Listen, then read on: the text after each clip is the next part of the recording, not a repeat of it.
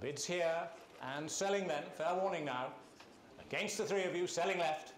All done at $1,300,000. 28 million, 29 million, at 20, 30 million, 31, selling for 45.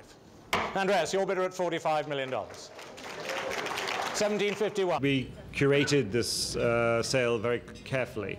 Uh, it, we cut down the, uh, the, number of, um, the number of works within the sale. We also concentrated more and more on quality, and we went out into the market looking for works, very proactively looking for great material. Uh, and that really was the sort of if the, the caliber of the, of the, overall sale and also the fact that we hit different aspects of the market. We had fantastic works from the, from the 50s, we had great works from the 60s, and we had superb uh, contemporary work. Well done. Lot 37, Lucian Freud, showing on the turntable there.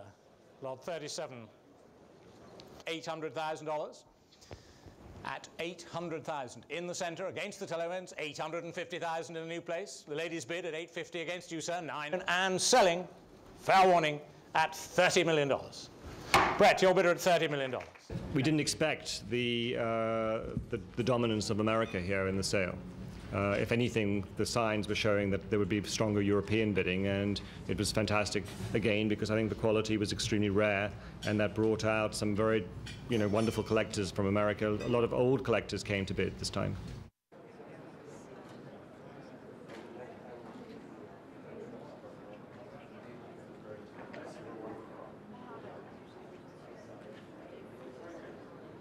At $29 million and selling to this telephone, fair warning then, selling right at $29 million. Brett, your bidder at $29 million.